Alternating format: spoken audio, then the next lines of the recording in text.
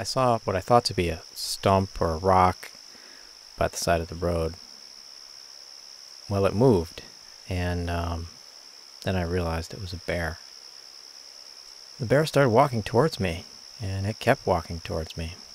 I wasn't worried when it was coming towards me at first, uh, until it got closer.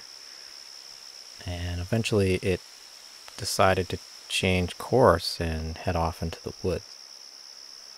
I felt more relaxed, but I wasn't really relaxed until I had gone a good distance down the road.